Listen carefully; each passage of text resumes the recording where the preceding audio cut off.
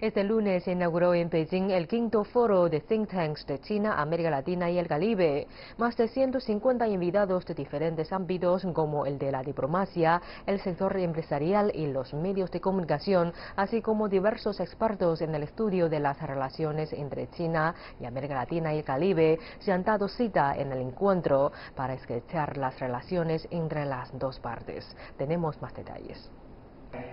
El foro de dos días de duración tiene como lema principal la franja y la ruta de alta calidad y ha reunido a expertos, empresarios y diplomáticos provenientes de China, Cuba, Argentina, Brasil, México, Perú, El Salvador y Jamaica, entre otros países.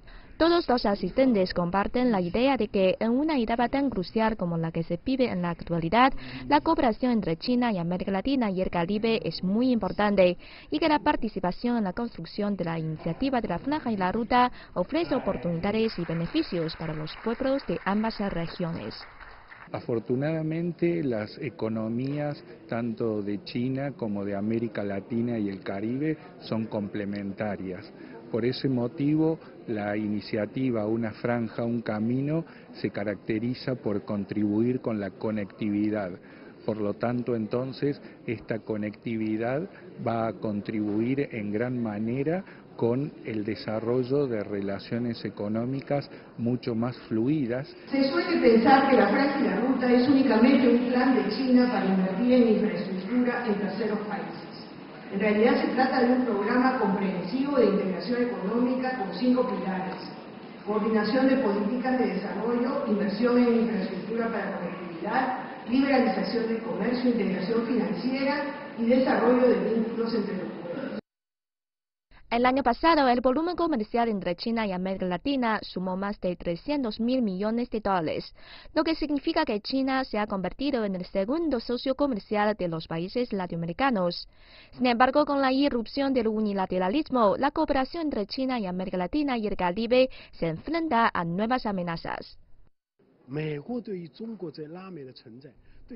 Estados Unidos tiene una preocupación sin precedentes en torno a la presencia de China en América Latina y al desarrollo de la cooperación entre China y América Latina.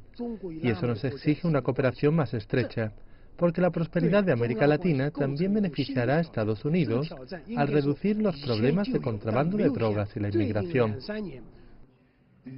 El foro de think tanks de China, América Latina y el Caribe ya cuenta con una historia de cinco años y complementa los esfuerzos de diplomacia oficial.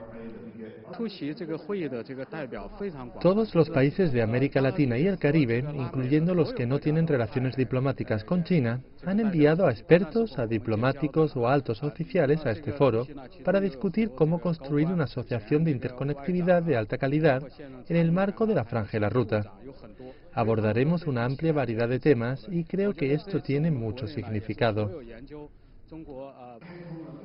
Según Yuan, gracias al foro del laboratorio de ideas, los invitados podrán servir de puente entre los jefes de gobierno y el pueblo para fomentar el entendimiento mutuo entre China y América Latina y el Caribe.